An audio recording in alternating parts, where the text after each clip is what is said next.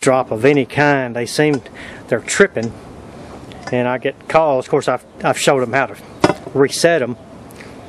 This one's been reset about three or four times, and now you go to you know you you've got this you know you've got this test and then reset button on there. You know, there's your test button.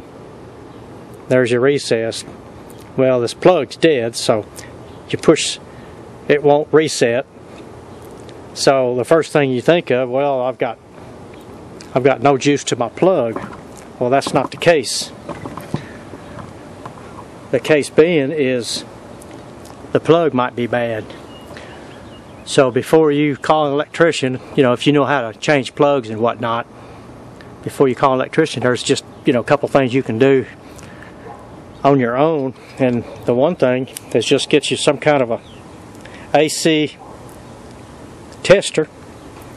And it doesn't matter which side, if you're on the black or white side on either one, as long as one's on one, the other's on the other. You come in here to your, you can see your screws. Of course, we don't know which side is the load and which side is the line. So what we're going to do, we're just going to test both of them. We'll do the, the one below and then the one on top.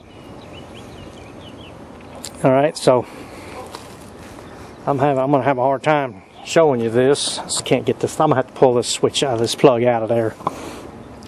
One thing you want to remember, whether a plug is dead or not, always consider it to be live, just like a pistol.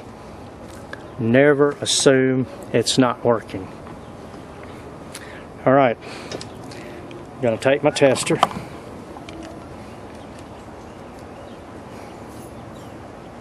Okay, I think you can see the light is, is on, which means we've got electricity to the plug.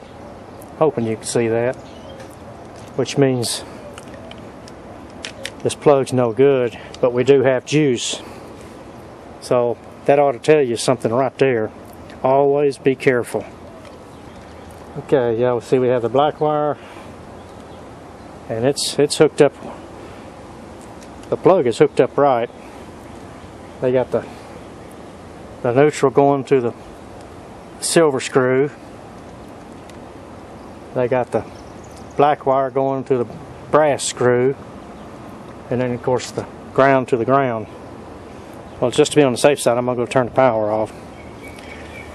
I'd rather be safe than sitting here complaining. Okay power is off, but I'm still going to check it. I don't assume anything in electricity because, okay, I don't know if you can see it or not, but we're definitely dead, so we're going to go ahead and change this plug out. Get this thing out of here and get a new one in there before it gets dark. Okay, up here at the top, it says line Okay, that's where your black and your white, or I should say, your hot wire and your neutral go. Your ground goes in the back. It's always where the green screw is. Down here on the bottom it says load. Well this, after you hook up your, your line, if you're going to another plug or to somewhere else that you want to be protected in case there's ever but anyway, okay, the line is what you want to hook it up. This is your hot wire coming in. You want to make sure that when you disconnect this stuff, you know exactly what you're disconnecting and connecting. Don't get them confused. Always mark them with tape or something. If you hook your line, your hot wire and your neutral up to the one that says load, the plug will not work, period. So you got to make sure you hook it up the right way. Okay, here's the here's the warning sticker, and it says, "Attention!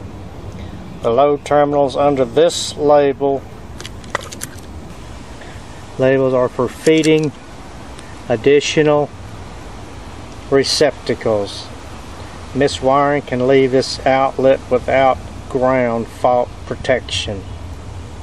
Read the instructions prior to wiring. Very important. Evidently some of these plugs will work if you hook them up backwards and the only problem is you won't have your ground fault protection. We're going to hook this one up backwards just to see what happens. So we've taken our our warning label off, attention label, whatever you want to call it. And we're going to hook up to the load side.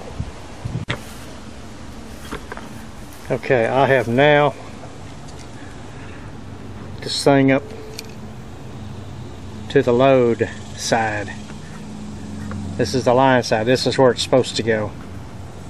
Alright, we're going to go turn the power on and see what we got. Okay, we got the power on. Now let's try our tester. We got to reset the ground fault.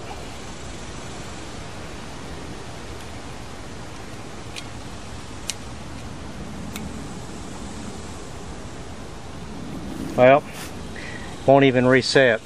So that pretty much tells you right there that it's not going to work. So we need to go turn the power back off and uh, turn this thing around. So now you know. It won't reset.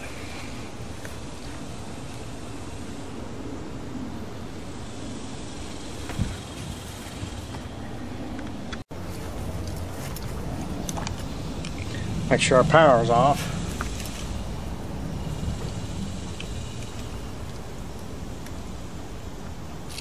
Don't ever assume anything with power, with electricity.